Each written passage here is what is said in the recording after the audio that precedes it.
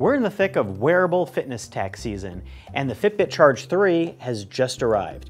This could be Fitbit's best overall general fitness tracker, but how does that compare to the Fitbit Versa, a watch that I've already really liked? And how does it compare to Apple Watch Series 4? Well, I'm here to tell you after wearing it for only a few days how it compares and what you should look out for, how it stands out. The Fitbit Charge 3 is $150, which is significantly less than the Apple Watch Series 4, but it's also $50 less than the Versa. So if you're looking for value, that's it. It also has better battery life than the Fitbit Versa. And for the first time, the Fitbit Charge 3, compared to the Charge 2, has water resistance for swimming, which is great. So you can wear it in the shower, wear it while swimming. It has a larger screen and it's really touch enabled this time. So it doesn't have any of that tap to touch stuff, which feels a lot smoother to operate. The Charge 3 also gets notifications. So you can tap in all the notifications from your phone, feeling a lot more like a smartwatch.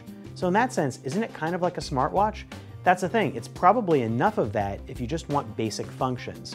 And what it doesn't have, no music support, so and no ability to store music, and there's no music remote. And while there is Fitbit Pay uh, for a $20 bump up version, which is not bad because you're also getting an extra band, Fitbit doesn't support a lot of banks at this point compared to Apple Pay and Google Pay. Other than that, it's a pretty basic fitness tracker experience. No GPS, but it does have the step-up heart rate that's been on recent Fitbit models, called Pure Pulse. This heart rate is supposed to give more accurate tracking and also help with more accurate sleep readings. So far, it's been a little bit up and down, but we're gonna keep testing it and give an update as we do a full review. Even though the Charge 3 has a larger screen than the Charge 2, it's significantly smaller than the Fitbit Versa or other smartwatches, and it's not color. However, it is a pretty bright grayscale OLED screen. So it looks crisp, it moves smoothly, and there are a few watch faces that you can pick within the Fitbit app. But there is no watch face store, unlike the Fitbit Versa and Ionic, and there's no app store. While there are a couple of app-like functions, there are no others that you can shop for and add. The interactions with the Charge 3 are done using your finger or with a really clever little haptic kind of button on the side. There's an indentation and when you press in, it has a vibration and it feels like a button. It brings you back to the main menu, turns the screen on and off, or if you're in an exercise, it'll pause and then stop the workout. Navigating is a little bit wonky in the sense that you do have to do a lot of swiping to pick features, uh, not a lot is immediately done with the side button. So if you're looking for instant get up and go workouts, the Versa has more shortcuts. If you see here, you can start a run. There's basic fitness stats, not a ton, but enough.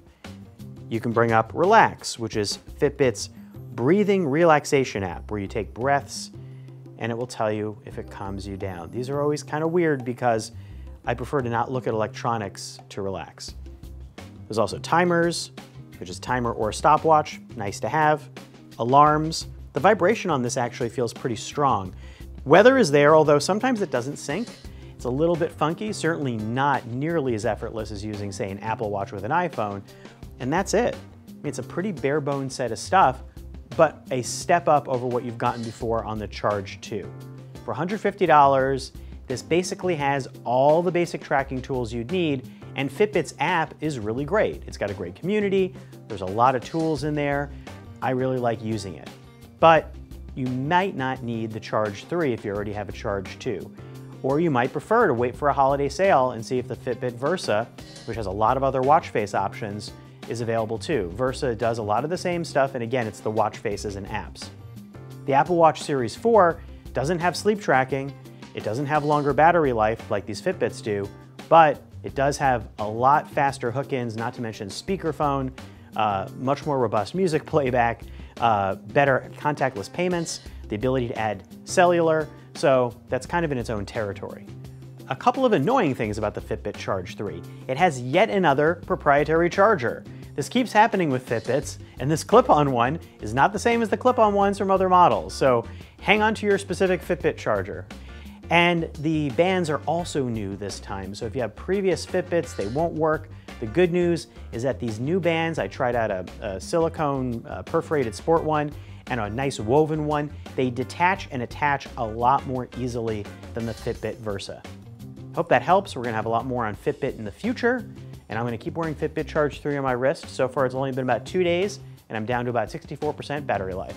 More soon.